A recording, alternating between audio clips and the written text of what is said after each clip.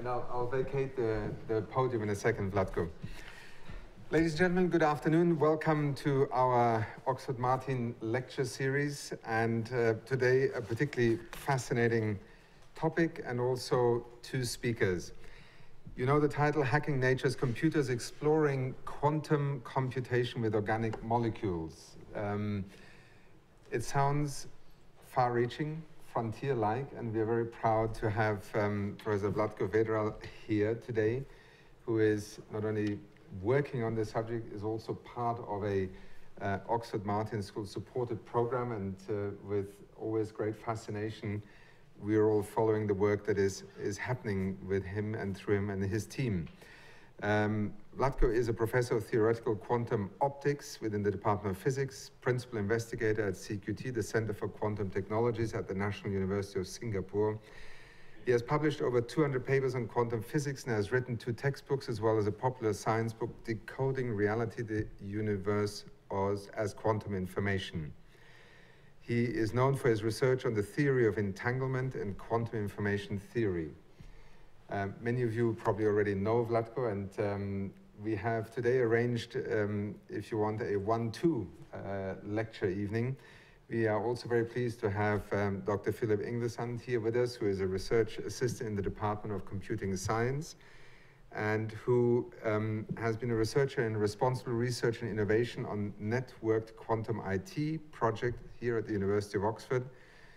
He has over 30 years of experience in the IT industry, but most recently has really focused more on the the interface, the interaction between technology, IT, and humans uh, in the broader sense of ethics and choices also. And we have invited him to then offer also some comments and remarks and observations after uh, Professor Vlatko Vedral has finished his lecture. So, Vlatko, oh, sorry, I should just mention two things. Sorry, this is the kind of health and safety announcements.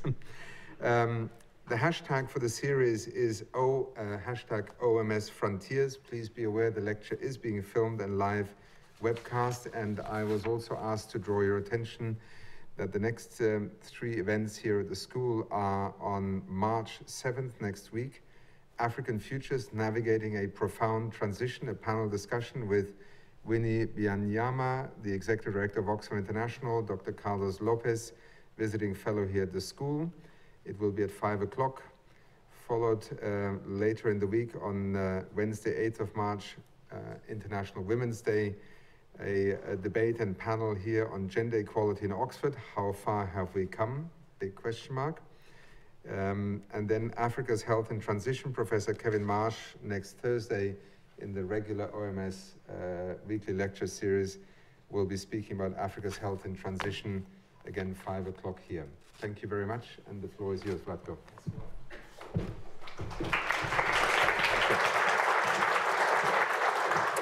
Thanks very much, Achim. It's uh, always pleasure for me to speak um, at the Oxford Martin School, um, which has been extremely supportive of this work. And this is almost like a progress report uh, to you that I give every once in a while. And it's a really exciting research. I um, um, I've sp uh, I spoke with, with Jim Martin a, a, lot about this, and I know he shared the same interest um, into both the technologies that come out of this, quantum computers, as well as the view that the whole universe is a kind of a quantum computer. So there is a technological as well as the fundamental side.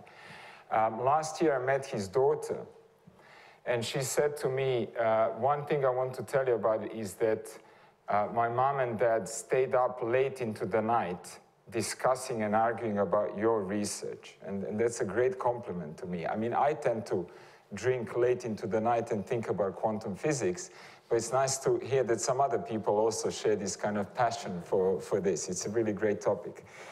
Um, I'm, I'm particularly nervous to speak today about it. Usually I'm not nervous, but I've got my children here listening to me, and they're usually my biggest critics.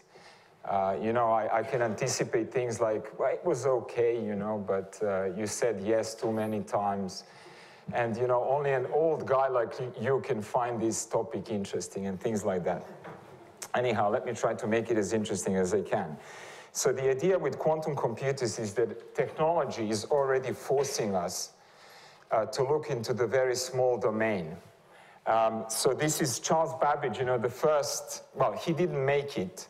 Uh, he had um, uh, the idea to make a, a, computer, the analytical machine. I think, um, I think a copy was made um, after his blueprint and it's sitting in the Science Museum in London next to Imperial College. And you can see the dimensions, you know, it's a meter by two meters or whatever it is. But that's basically where the idea uh, comes from to delegate quite uh, laborious calculations uh, to a machine and not to have to be done by a human being. Both Newton and Leibniz complained about it. You know, they thought this is really pointless for a human to, to write 200 pages per day of, of kind of uh, boring calculations. It would be so much nicer to dedicate your time to conceptual ideas and so on and delegate this kind of boring work uh, to someone else or something else. Um, of course, currently we're talking about a much smaller um, computer, if you like. So, so a chip of this size, a, a, millionth of a meter, can already now do much more than, uh, than, uh, than, than Babbage's engine uh, could have done. And I think the idea with quantum computers is really to explore the ultimate limit and to encode um, bits of information into as small uh, units as, uh, as we can. Um, so it would be something like an atom for one uh, bit of information, if we can get down there. Of course, there's, there's, even more room. You could, you could think about going inside the nucleus and so on. So nature tells us there's quite a lot of room that we have down there. And here is this typical picture, you know, that encapsulates the same trend, maybe, maybe as a graph rather than visually. And it's telling you how many electrons we need to encode one bit of information. And you can see that this is going down exponentially. Um, so every couple of years, we basically delete a zero. Um, so that, you know, the y-axis is, is, an exponentially uh, increasing or decreasing, in this case, trend. And another way of saying the same is how many transistors you can cram into, the, into, into a single chip. Um, so these are like the basic operations inside your computer, and the more of them you can cram into it, the faster you can, you can compute. And now we are already at the, at the limit of quantum technologies. We are already really talking about a, a handful of electrons that we use to encode this information. But this encoding is by and large still classical. And the question is, can we really utilize the full potential of quantum mechanics to do that? And that's really what, what we are all about here. Um, so what, what's the idea? I'll give you the idea in a second, but what's amazing is that we can really, uh, we can actually see these um, um, atoms, for example. This is, um, this is um, ions in, a, in an ion trap, seven of them, um, and when you shine some laser onto them, they absorb this light and then they re-emit it. So you can see them glow in the dark. Of course, the picture is amplified many, many times. This is about a millionth of a meter. That's a micron. And we are talking about much higher frequencies, um, again, million times higher than what you're seeing here. So they oscillate really rapidly, uh, megahertz. But if you slow them down and you amplify them, you can really see them. And this is amazing to me because about 100 years ago, or 120 years ago, people still, some people still doubted the existence of atoms. Um, so Boltzmann had a huge opposition in Vienna when he was doing his atomic statistical mechanics because there were people who didn't believe that atoms are real. They thought it was a nice way of calculating stuff but we don't have any direct evidence on them. And of course, now you do. So what we want to do is really use each of these as a mini processor um, and encode bits of information into that. And here is the advantage. So I think I have only a handful of slides uh, on, on quantum physics. I know that, that the audience is very mixed. I know lots of you here know much more about some of these aspects than I do, but I know that some of you may not be familiar with this. So this is the kind of stuff we teach our our undergraduates, um, uh, even in the first year. In fact, this year I'll be teaching quantum physics for the first time. So last year the director of studies came to me and said, our students find the course a bit boring. Can you go and sex it up? Um, and that's an interesting thing, actually, to be, to be told about quantum physics, because I really can't make it sexier than it is. It, it really is the coolest topic that I'm aware of.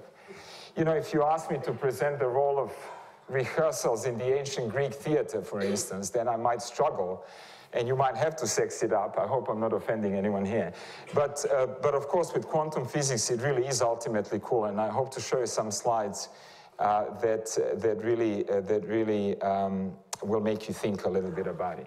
So the idea is that if you use an atom, uh, you, have, uh, you have different places where the electron can orbit around the nucleus, as you know. And you can label, if the electron is close to the nucleus, you can label that as the logical state zero. And if the, if the, if the electron is a bit further away, you can label that as a logical uh, state one. And then a guy called George Boole, um, a high school teacher in the 19th century in England, uh, said that once you have zeros and ones and you have some basic arithmetic, you can basically compute anything you want to compute, the Boolean logic. That's the, that's the heart, the core of, of any computational process. And so all you need to be able to do quantum mechanically is you need to be able to move this electron from being close to the nucleus to being further away. You have to be able to do that deterministically. I can tell you that uh, David Lucas in, in physics here holds the world record uh, for being able to do this uh, efficiently. Uh, he can do this with six nines, as we call it. Um, so he can achieve this transfer with 99.9999% accuracy. And this is really amazing. So this is, you know, this is the size of a billionth of a, of a meter. It's tiny, you can't see that, of course, but you can really control it uh, to a really high uh, degree accuracy. And the punchline here is, you know, you can now say, okay, so how's this different to the standard computer? The difference is that if you stop your laser light halfway through getting the electron from one state to the other, what quantum physics says is that it's going to be simultaneously in both of these states. And that's your superposition state. So somehow you can really make the electron exist in both of these states at the same time. And you know, as, as the, the famous American uh, physicist Richard Feynman said, this is the only mystery in quantum mechanics. How can that be? Um, so don't look at me, I don't have an answer to that. But, uh, uh, but uh, basically, as soon as we don't understand something, we physicists elevate that to a law of nature. And so I'm going to be hiding behind laws of nature. That's the way it is in this world. Okay, so that's one of the, one of the principles of quantum mechanics. The funny thing, of course, and that's what we are exploring here within this um, cluster, is how far does this principle hold? And I think most of you will be aware that the Austrian physicist Schrödinger came up with the Schrödinger's cat as a paradox, a paradoxical consequence of this. If electrons, atoms, molecules can all exist in many different states at the same time, then why not living systems? Why can't I have a cat dead and alive at the same time? And I'm going to stop here with this direction because I'll show you a slide where I will argue that this is probably okay. You can probably do that one day, but I'm just a physicist, okay? So, and cats are really very complex biological systems, and there is a big gap to bridge before we get there. Uh, but I'll show you how far we can, we can get to it. It's really interesting. Um, so this is actually the beginning of that story. If we can use atoms, um, if we can use light to encode quantum information, and, and anything we've tested so far exhibits exactly the same superposition principle. It can be zero and one at the same time. So the amazing thing is if I could do that with a large computer, then this computer can, can do all possible computations simultaneously because it exists in all these logical states at the same time. And that's the exponential power that you'll be getting out of this computer. And I think Jim Martin was particularly interested in this because it would, it would give you a phenomenal speed up with which you could solve um, some of the major uh, problems that we are facing these days. So I think it fits right in within the OMS uh, vision. And um, so we started asking why not organic molecules, and I'll tell you why, why we came to this, to this idea. Actually, here is a nice shot where you can, you can see uh, emission of light. This very sharp peak, large peak, is just counting photons that come out of an organic molecule like this. It's just a bunch of benzene rings, if you like, carbon atoms uh, in, a very, in a very structured um, lattice. Um, and you can get emission from all sorts of other stuff that exists in this lattice, molecules of this kind, but actually you can clearly discriminate emission from a single molecule. And this is really amazing. Single molecule spectroscopy um, was last year's Nobel Prize in chemistry. Chemists are super annoyed, by the way, because the three people who got it are physicists. the best chemists usually are physicists, by the way, but uh, so the best mathematicians and engineers, so I'm told, okay, I don't know. Anyhow, what's interesting is, um, is, is here is just another, another picture of, of single molecules that you can see. Um, and, and so um, you can address them individually, which is very important that you know you're talking to molecule one um, at one time, then you might be able to do something with a molecule two, you might be able to do some gate between them and all of this. So it's very important to be able to resolve them uh, individually. So what occurred to us, and this actually comes from, from some evidence that comes from uh, biology and chemistry, is that maybe we could use organic molecules that are out there in nature to somehow build our com com uh, quantum computer out of these uh, building blocks. So there is evidence that nature already uses quantum computation. I mean, nature has had about 4 billion years to evolve uh, quantum, quantum computation, if you like.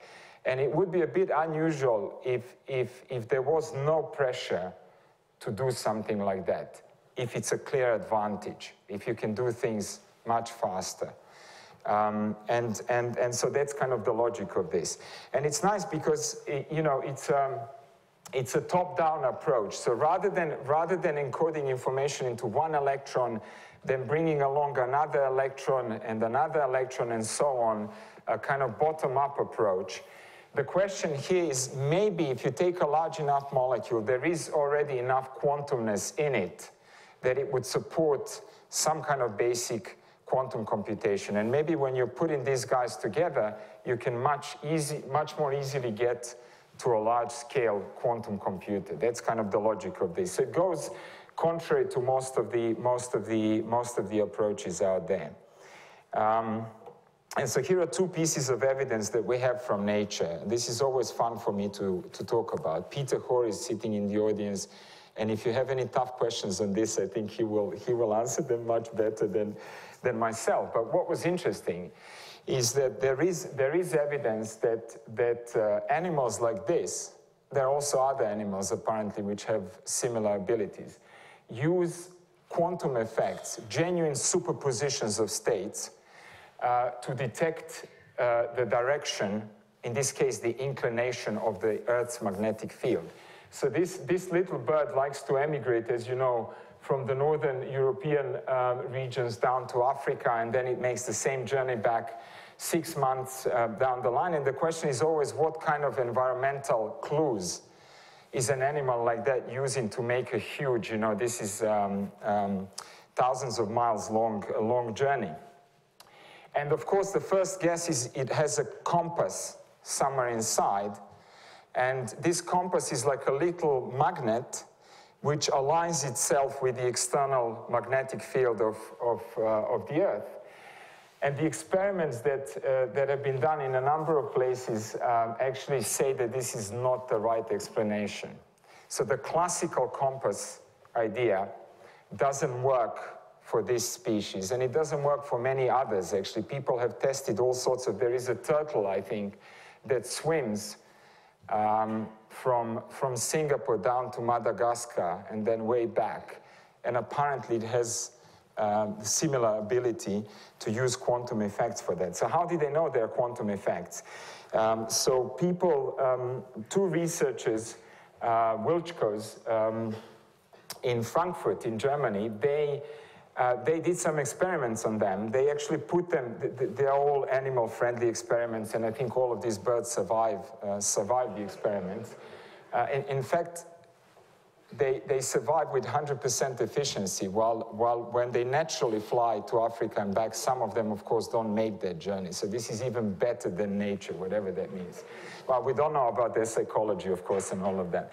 So what they do is they put them into small confinements, they change the external magnetic field, and then they look in which direction the bird goes. And the bird goes in one particular direction, then scratches the wall of this confinement and these marks that are left are used to do the analysis.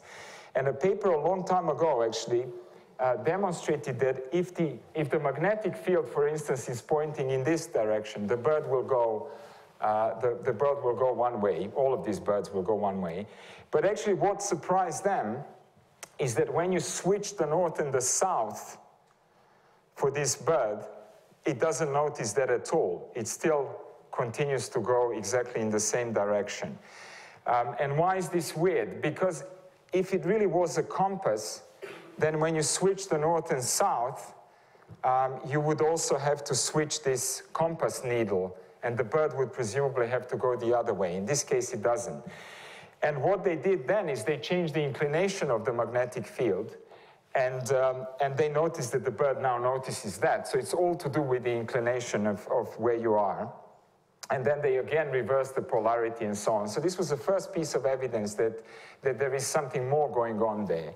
And actually what's really going on, I, I don't want to spend too much time on this, what's really going on is that there are two electrons in, in, the, in the retina of this bird's eye that get quantum entangled in a superposition of state, states, different magnetic states, and this superposition of states get gets affected by the inclination of the Earth's magnetic field. And when these electrons are entangled, we actually know in quantum physics that they are completely insensitive to the polarity of the magnetic field. So it doesn't really make any difference whether you switch the north and south or not. This could be evolutionary, possibly also useful because we know that the Earth's magnetic field also switches polarity every once in a while. So they wouldn't even notice that. It doesn't really make any difference. Really interesting. So it's a, we have lots of circumstantial evidence. Circumstantial because biology is complex. Uh, it's not as, as easy to control little electrons there with 99.999% efficiency. But there is lots of evidence that this is the case. And the other thing that actually prompted us to do a little bit of extra work, and that's really what I want to tell you about at the end of this, is that photosynthesis is another big direction. So magnetoreception, you know, how to measure small fields in your vicinity, you can see how useful this could be for all sorts of applications. But here is another thing that could be extremely useful, which is to do with how uh, plants capture light and convert this into chemical energy inside them. And some of these plants are extremely efficient so this is just a slide, this, this is just to show you how complex some of these organic molecules are. But what's amazing is that despite of this size and complexity, they're still capable of executing some kind of quantum information processing. And this is a surprise to all of us in physics, because we expect quantum physics to become kind of less and less relevant the larger something is. And there are some theories out there, they even say that it will break down uh, at some length scale. If an object is too big, it just won't be quantum. This guy is still quantum. Um, so there is a kind of light harvesting antenna that's part of, of, this, of, of, plants or bacteria in this case. Actually, I'll show you some images in a, in a minute. They absorb light and then they have to transfer it into the, into the reaction center which is just a part of the cell that, that basically runs the ATP cycle in chemistry that gives you energy uh, to, sustain, to sustain life in, in, in this bacterium. And this transfer from A to B is almost 100% efficient. And this is kind of, kind of remarkable because we are talking about a complex molecule that's able to transfer this with almost 100% efficiency. And classical physics, as it happens, is incapable of explaining stuff like that. We just don't have a classical model that could account how this goes to here. But if we assume that this molecule can be in a kind of superposition state quantum mechanically, then, then you can explain this. And now I think this is a cool part of the talk that's coming up. This is the latest work that we've been doing. Uh, this, um, this follows um, a drunken pub debate, as it happens. Uh, talking to people over beer is extremely important in science, as you know. Um, and I think um, this was, uh, you know, as, as, as, as the evening unfolds, if you have a critical mass of physicists around the table, ultimately you'll end up talking about the meaning and interpretations of quantum mechanics. And that's Schrodinger's cat. You know, can you really put a large object in a weird state like being dead and alive or being here and there at the same time? And I was, I was speaking to, um, uh, to um, Dave Coles, who is now at Sheffield, but used to be here uh, part of the, the Oxford Martin program as well. And, and what was interesting is that I was trying to suggest some things that we could do with these bacteria. And to my surprise, every time I suggested something, he said, Oh, that's probably okay. I can do that, I think. And I was getting crazier and crazier. By three o'clock in the morning, I think I had totally nuts ideas, which I will tell you about. But every time I suggested something, he said, Yeah, I can probably do that, you know? And that's interesting. You know, I love that spirit as well. He's a, he's a great physicist. Uh, and, and the interesting thing is this so, what he did is he literally took these photosynthetic bacteria um, put them in a very small cavity, microcavity, this is, this is tiny in size, and injected them between two reflecting mirrors. So what happens is if you inject some light into this, it bounces back and forth between these two mirrors, it interacts with whatever is between the mirrors, and then it comes out and you can detect it. And that's kind of the, the core of this kind of experiment on spectroscopy. And so what, what we wanted to do is, we, let me show you, the, let me show you the, the physicist's kind of picture of the bacteria. It's much more simplified, of course, than what it is. Bacterium tends to absorb one wavelength of light. This is this antenna that captures light. These bacteria live about 1,000 meters below the sea level. Um, and you get roughly five photons on average per day. So they have to be pretty good at catching photons, otherwise they're not going to be able to survive, I suppose. So they catch the photons here, then these photons lose energy inside the bacteria and ultimately end up in this reaction center that I was mentioning. And this is this part that's ridiculously efficient. Almost violates the second law of thermodynamics, if you think of it as an engine. It's almost perfectly efficient, and that's what's weird to us physicists as well. So what Dave did is Dave looked at this transition here. And, and what's interesting is what quantum physics predicts is that when you put a system inside the cavity, it's going to entangle itself to the light inside the cavity. And so this energy level structure will be modified because it's not just the bacterium on its own, but you've got photons inside the cavity that now couple to the bacterium. So the witness of, of, of this kind of phenomenon, that you've got entanglement, if you like, between bacteria and, and light, is the fact that this level will be shifted. You will be observing a different wavelength to the one if the bacterium was just on its own and not sitting inside this kind of light um, induced environment. And, and you can see the picture, you can see the picture of this, um, um, of this, of this bacterium here. That's the image.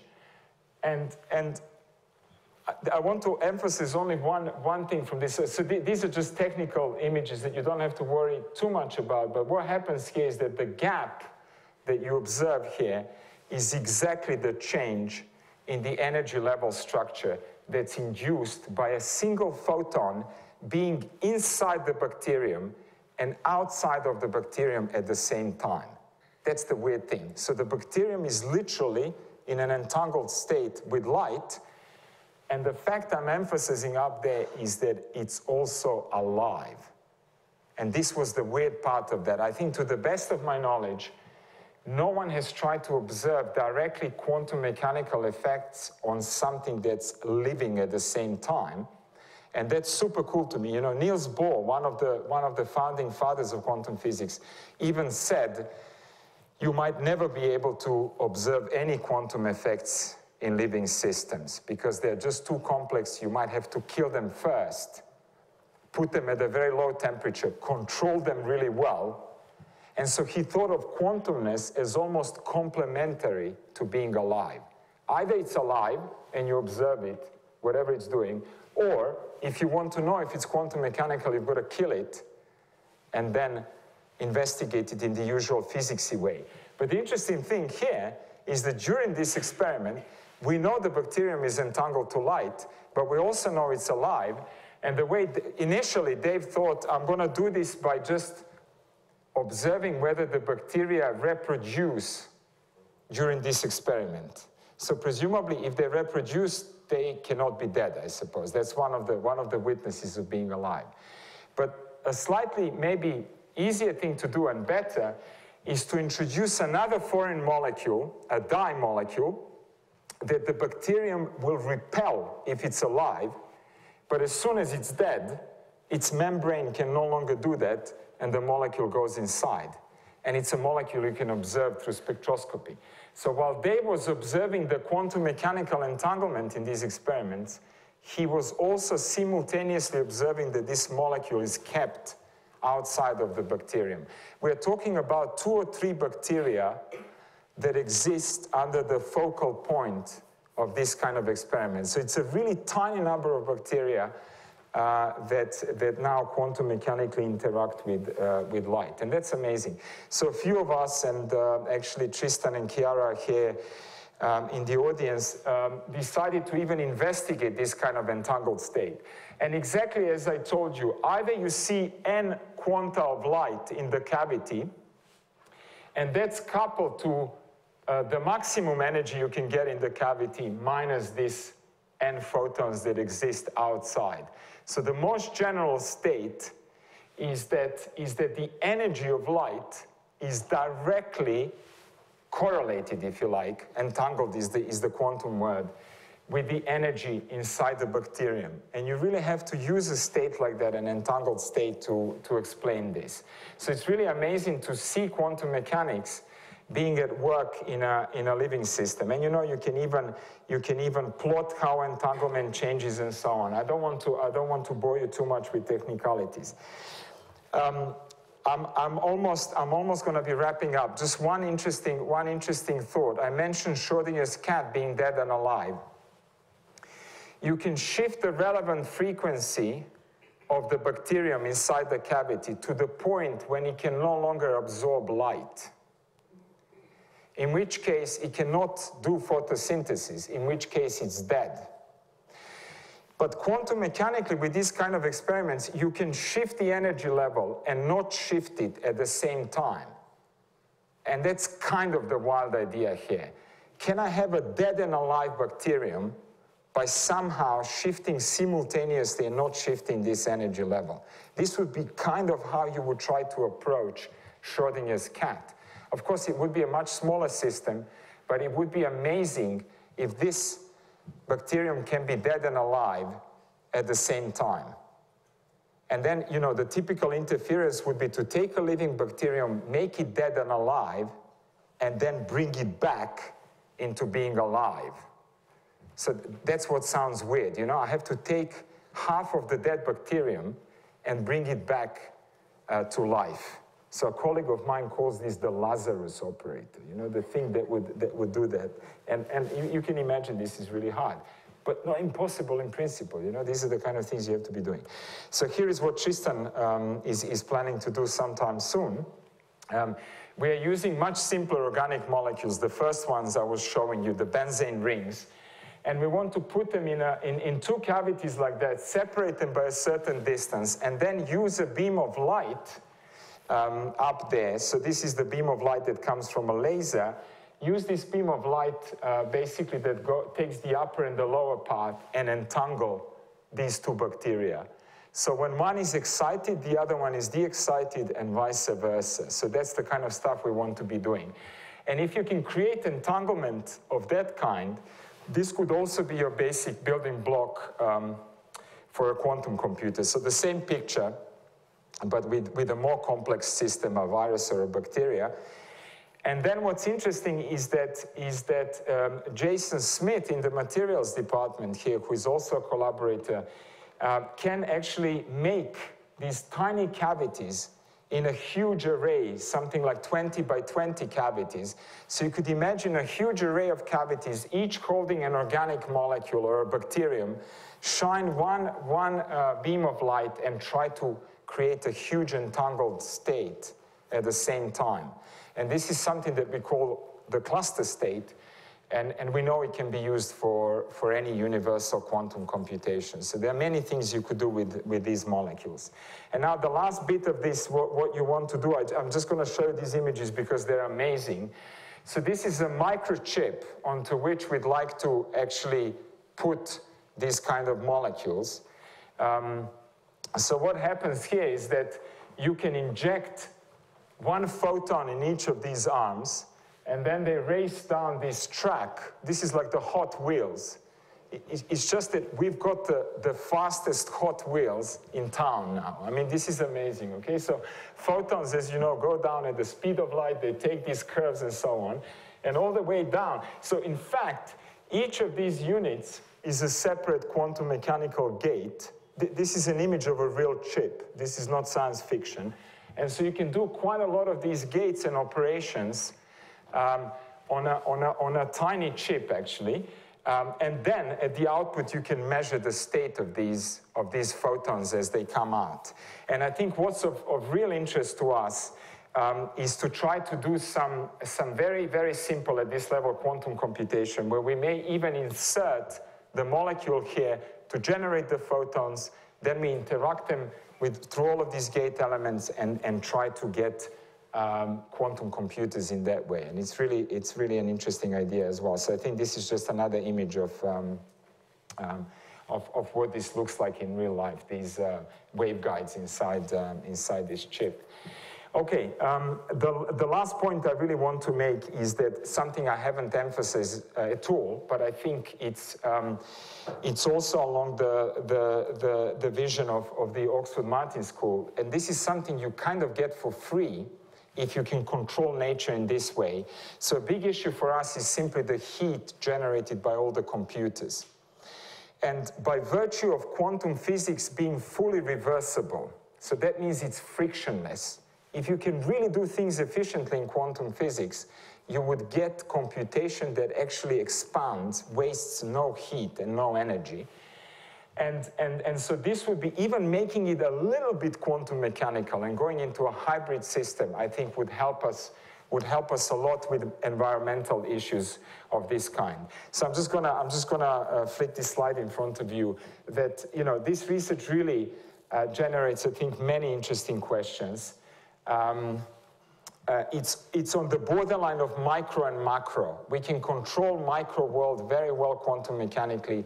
We don't quite understand how the macro world emerges out of that and whether it's fully connected, whether it can be fully quantum mechanical and so on.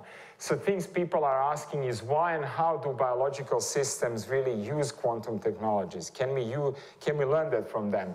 Uh, the why, the how question is obvious, you know, what exactly is the mechanism? The why question is a question that you always get asked by an evolutionary biologist.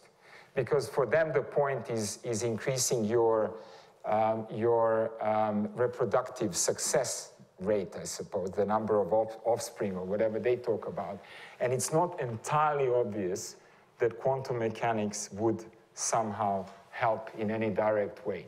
For us, of course, the exciting question is can we build on that to really make a universal computer? Can we take some of these elements that are out there for free and, um, and, and, and make our technologies?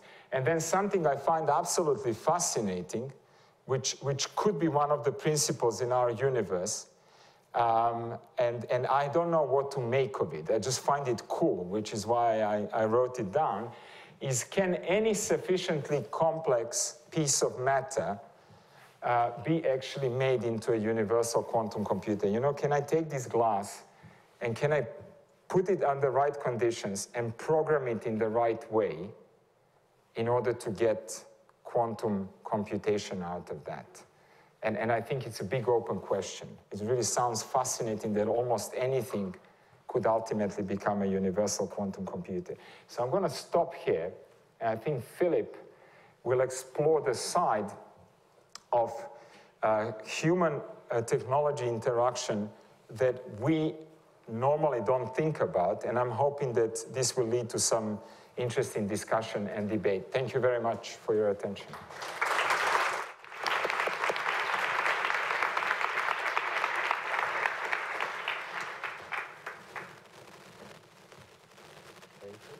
How do I turn myself on? Turn off mute.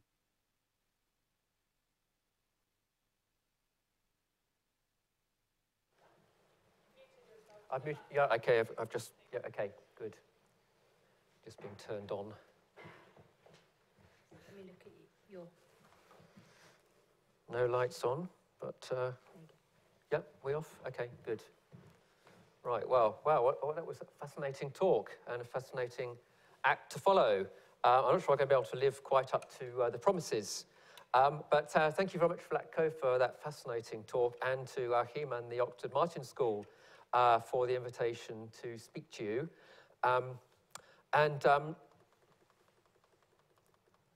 as, uh, as you will have heard, I'm, uh, I'm researching in, uh, in, the, in, in Marina Jirotka's Human-Centered Computing group here in uh, computer science in, in Oxford.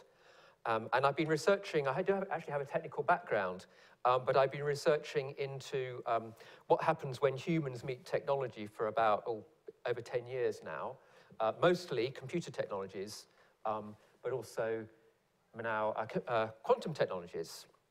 Um, so I'm actually going to come right uh, completely to the other end, if you like, uh, to something which the UK government has been doing to turn some of these fantastic ideas, which are theoretical in the lab, really exciting, really forward-looking, um, and turn them into um, uh, some actual technology and some actual uh, products in the marketplace. And they've launched a, a five-year program called the UK Quantum Technologies Program, and uh, my research is part of this. It's part of a, what's called a hub in the Network Quantum Information Technologies, or NQIT. Um, and um, it's five years, and it's uh, very exciting for us because those of us who, oops, sorry, I pressed the wrong button. Uh, so those of us who, um, those of us who research into the interface between science and technology uh, are often used to thinking about uh, technology which is either, either science or it's out in the marketplace and thinking about the, the routes from one to the other. Uh, in this program, we are able to see uh, a range of emerging technologies uh, going from the science in the laboratory right out there um, in, in a very short space of time. I have to say that quantum computing probably won't be right out there in five years' time, although we do hope to have something working within five years. Um, but, uh, but some of the other technologies actually will be, and I'll talk about those in, a minute. Okay, so um, I'll talk first of all about quantum computing, uh, because that's where I've been uh, starting my research. Um, and I think the first point to make about quantum computing is that it's actually still very uncertain. Uh, so if you ask me when will we have a quantum computer, well, it depends on what you mean by a quantum com computer. Um, we don't know um, we don't know exactly what architecture we use to be built, built on.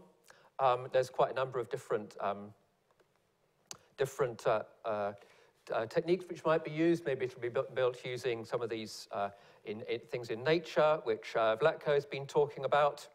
Um, at one time, it even looked uncertain that quantum computers could be done at all. There's been a number of, of naysayers said, no, we can prove you can't make a quantum computer, it's impossible. Uh, we're much more confident actually you can make a quantum computer. But you know, we don't yet know exactly when, and we don't know exactly what form it will take. But one thing we, we can be fairly sure of is that we exist alongside existing computers. So you're not going to probably find a quantum computer on your desk. You're not going to get rid of your laptop and, or your, your smartphone and replace it with a quantum computer. Um, much more likely that you'll be working, uh, quantum computers will be doing some quite specific things.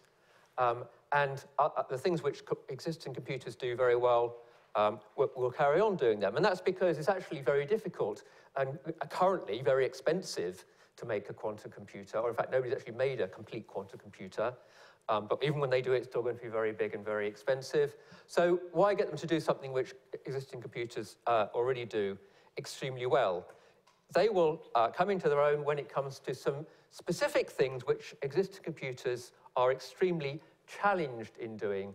Um, and I haven't got time to go into great detail in any of these, but first of all, let's think about optimization, which might sound like, um, well, we can see how optimization can be really useful in things like the financial marketplace or in designing buildings or lots of different ways. But actually, it turns out that there's lots of other uh, things which can be turned into optimization type issues.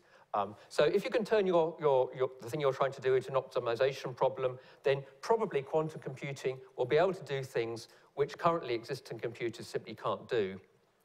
Uh, machine learning, uh, if you, every time you, you use uh, Google, every time you, uh, YouTube or Amazon or something gives you a recommendation, there's some machine learning behind that. Um, and there's lots and lots of applications of machine learning. It's becoming extremely important. Perhaps it's going to take away a lot of our jobs. Um, the, the, the Babbage machine engine, I think that was really useful, uh, doing, doing some of the things that actually are quite uh, boring and quite laborious. Machine learning, very likely good do, for doing a lot of things like that. Um, but there are limits to what machine learning can do on a classical computer. When you get to large amounts of data, you rapidly reach the limit of what can actually be calculated. You know, even if you had all the atoms in the universe and all the time in the universe, you couldn't do it using, using existing computing methods. Probably you can do a lot of these using uh, quantum computing methods.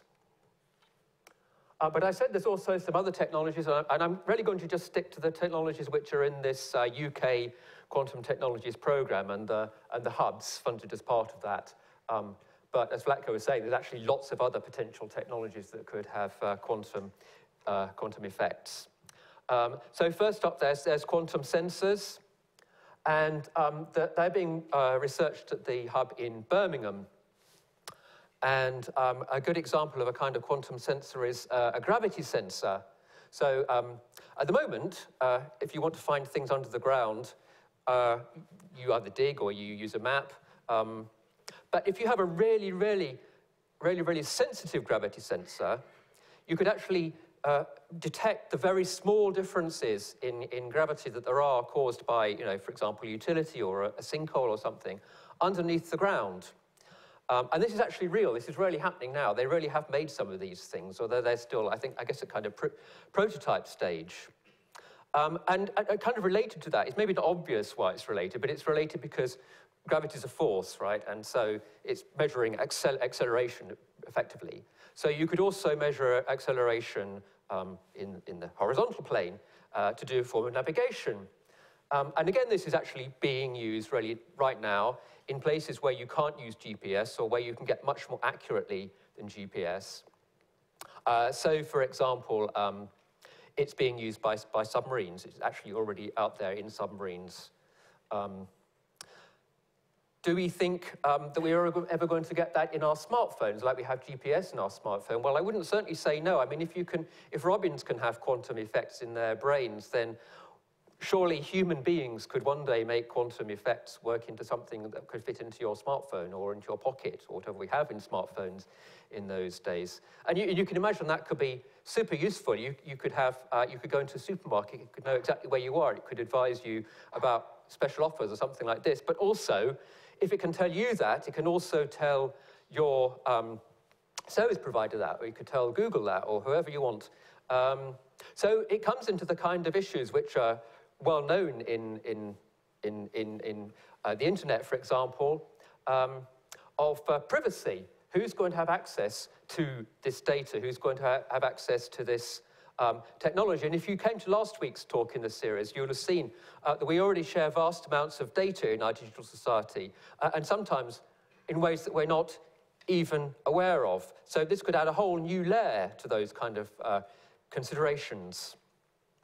Uh, so um, I'd like just to finish by saying uh, we, we, with the quantum technology, it's fantastic. It's very, some of the best science in the world. And in Oxford, uh, we have some of the best quantum science in the world. Um, but to coin a phrase, it, that's not enough to have just the best science in the world. It's also important to have the best science for the world. So I'm going to leave you with uh, some links here, some useful uh, links uh, to uh, to, uh, to some of the reports and so on. And, and I'd like to draw attention, I'd like to draw your attention, your attention particularly to the NQIT website, and there are links to a report that we've written on uh, the landscape of responsible innovation in quantum computing, and there's also a shorter version of that um, available as a policy brief. So thank you very much. I think we have a question and answer session now, don't we?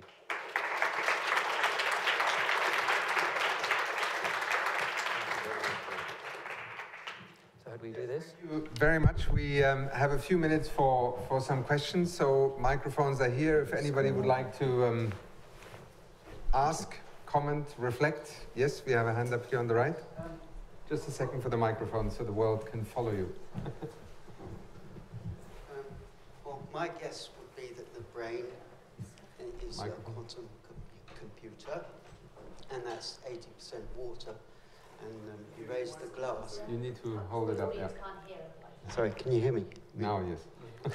yeah, so could the brain be using water, because it's the 80% of the brain is water, uh, uh, for quantum computing? I mean, are water molecules possibly entangled? You know, I think I think it's a fascinating question actually. Whether whether our brain um, also uses uh, using uses quantum mechanical um, effects. And, and not just at the superficial level, you know, the structure of uh, molecules and so on, but maybe it even is important in our own thinking. And there, there are many speculations out there um, I, I, would say it's, it's wide open. We, we really find it very hard to do experiments at that level that would be conclusive enough. People have, for instance, um, looked at the way we perceive and identify objects. So, you know, you have a house, and if it's drawn in the usual way, uh, you, you can very quickly identify it as a house. And then the experiment tests how quickly you can tell it's a house as the image is rotating. And of course, it's much slower um, when it's upside down. It's much harder. It takes a bit longer for us to identify. And there are experiments like that where people are trying to model this. And some of these models, interestingly enough, are really quantum mechanical in origin. Uh, but, but to us physicists, this still only suggests that for some reason this formalism happens to account for these simple effects, which doesn't really mean that ultimately, you know, they are really genuinely quantum mechanical. But I think that's the next step. You know, it's, it's a really fascinating question. Yes, and there.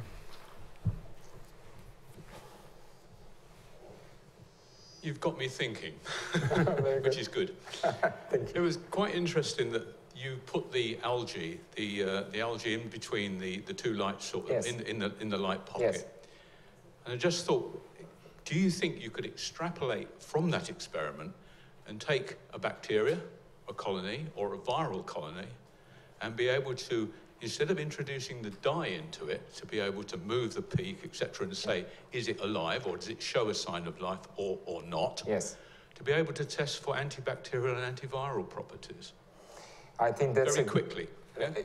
I have no idea, actually, is, is, is, the quickest answer I can give you. But I think it, it, it's, it's an amazing question that you get asked immediately because that would be an, an obvious chemistry and biology application, actually.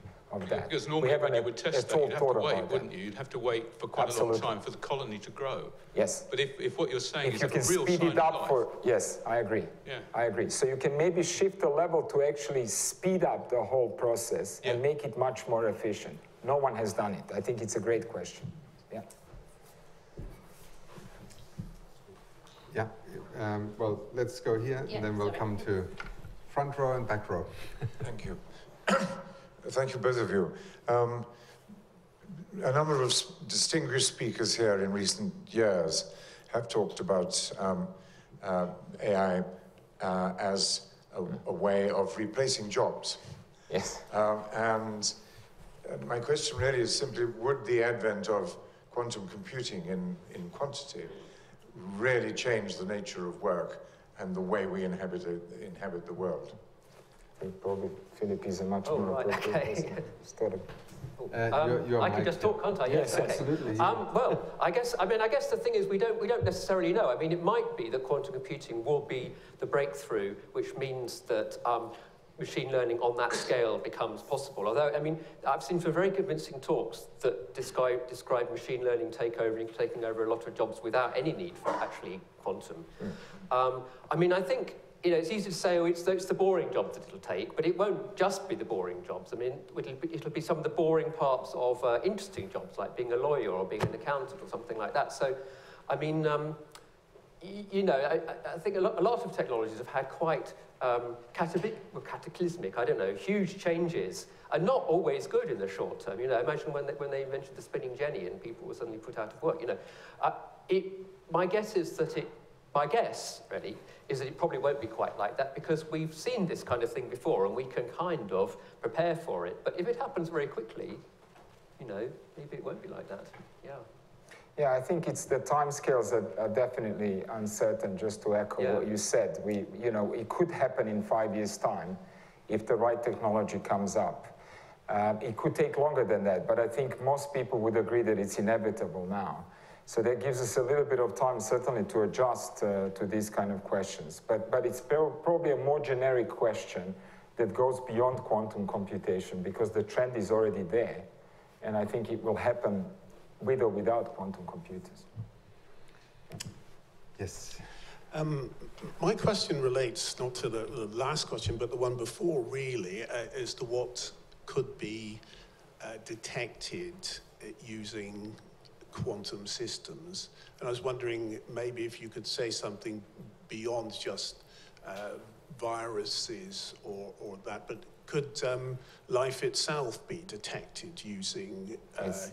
That method? Because I, you, you mentioned that um, perhaps just about any molecule could be used uh, for quantum computing. Yeah. Um, is there any difference in the quantum mechanical effects from the bacteria if they were alive or dead? I mean, if you if you if you killed them first and put them in, will you get exactly the same effects or it's not? A, it's a great question, actually. It's, it's absolutely, it's a spot-on question, actually. It's, um, th there are many aspects. I'm just, I'm just going to try to be brief.